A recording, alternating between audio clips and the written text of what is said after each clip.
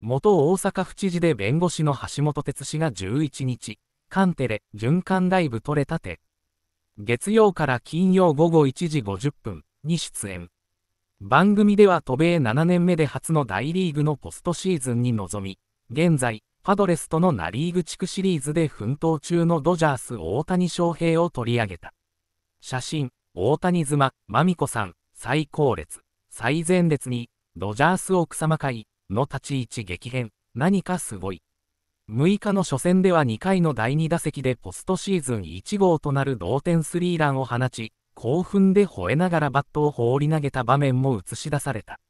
シーズン中以上に投手をむき出しにする大谷が印象的で、出演陣はチームを鼓舞する姿を笑顔で見守った。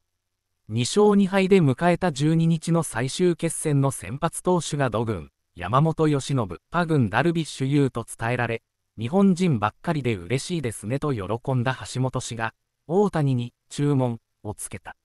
第一戦でしたっけ？大谷さんがバチーンって打って、感情あらわにバット放り投げたじゃないですか。大谷さんも今、世界のスーパーヒーローだから誰も批判しないんですけどと前置きすると、多くのスポーツ選手があのバット投げんのはあかん。っていろんな人言うんですけどと告白した。